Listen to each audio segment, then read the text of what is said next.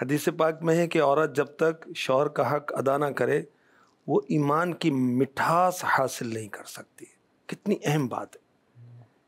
ईमान की मिठास। अब एक हदीस के तहत मैंने आज पढ़ा, मुंतखब हदीस है उसमें, कि एक तो देखें कि शक्कर इंसान खाता है, मिठास खाएगा, उसको टेस्ट आएगा। अच्छा एक वो है जिसके मुँह का जायका ख़राब हो गया है। वो चीनी तो खाएगा टेस्ट नहीं आएगा। हम्म। तो ईमान वाले तो हम हैं ईमान की मिठास चाहिए। वो मिठास कैसे मिलेगी? तो मुख्तलिफ़ औसाफ मुख्तलिफ़ रिवायतों में बयान किए गए। तो एक नेक बीवी के औसाफ में से है कि वो शोहर का हक अदा करेगी तो ईमान की मिठास महसूस करेगी।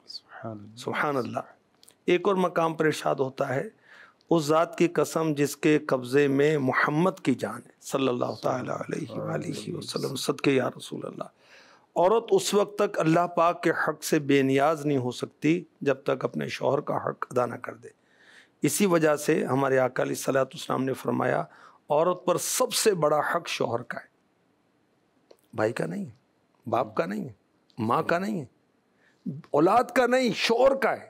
अच्छा ये मुझे इस तरह बताने में क्यों ज़रूरत महसूस हुई?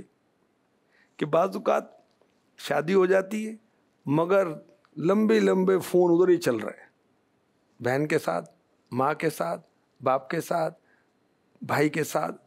अरे भाई ये शोहर है इससे अपने मामला शेयर करें ना। और अगर कोई नामुनासिब मामला है सब्र करें दुआ करें और इदफ़ा बिल्लती ही अहसन। बुरा सलूक है अच्छा सलूक करें तो वो भी इंसान है कोई पत्थर तो नहीं है ना। उसके हम्म। सीने में दिल है कोई पत्थर तो नहीं रखा हुआ ना कोई और लकड़ी तो नहीं रखी हुई कि जो फील नहीं करेगी। तो जब अच्छा सलूक ये करेगी तो इन शौहर भी अच्छे सलूक की तरफ़ आ जाएगा।